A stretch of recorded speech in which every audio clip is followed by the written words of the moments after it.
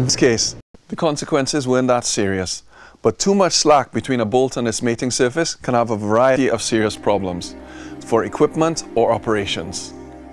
Slack can cause accidents resulting in injury to personnel or damage to equipment. To understand why there is slack in the first place, we'll have to take a closer look at how bolts are fastened. To fasten a bolt to a support, the hole in the support must be larger than the bolt itself. If the bolt is exactly the same size as the hole in the support, it simply won't be able to slide in. This means that in a conventional pin support connection, the full load is being taken by a single point. Once force is applied to the bolt in this configuration, it will begin to deform. Once this process has started, every time the system is loaded, further deformation will take place until the bolt support connection eventually fails or has to be rebuilt due to excessive wear.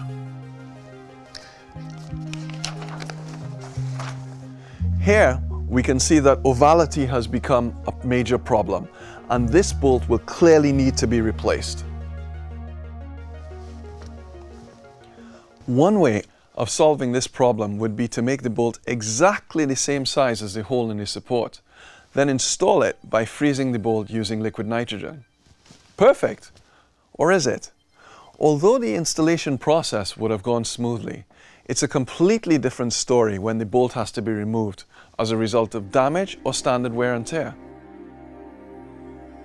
Realistically, the only way to remove the pin would be by torch cutting, which could turn out to be a very tricky and expensive operation, with no guaranteed result. This is where the Bondura pivot pin technology comes in.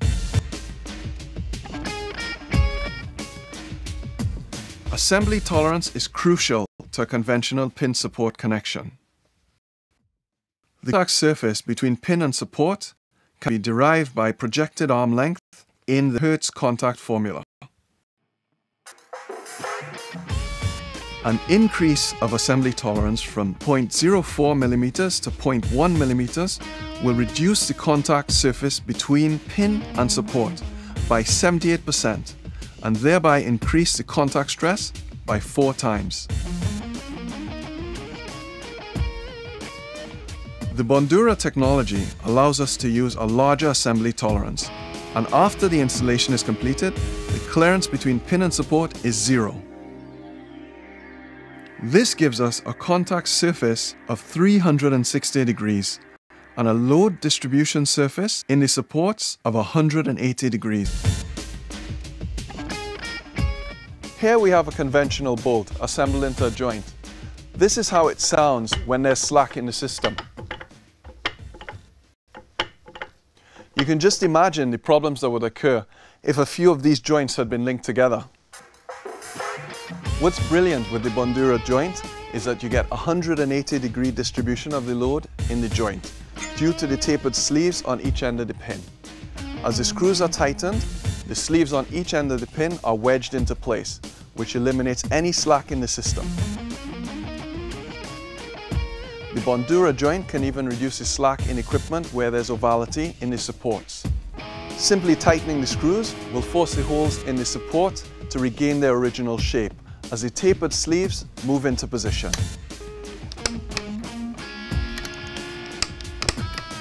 Now this is a solid joint.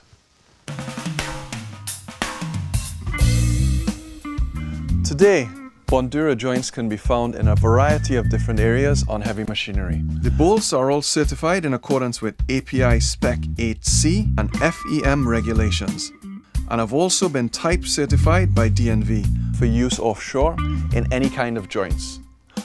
Bondura pins used on cranes and other lifting equipment are certified in accordance with NS 5514 and the rules of certification of hoisting appliances. Typical joint positions would be on cylinders and booms.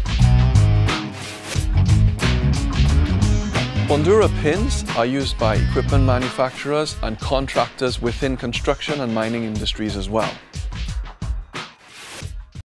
If you're focusing on reducing unscheduled downtime, Bondura will make the difference. the Bondura technology will become the new industry standard for mechanical joints. Use joints that are manufactured to be precise. Use Bondura and you'll improve safety while saving both time and money.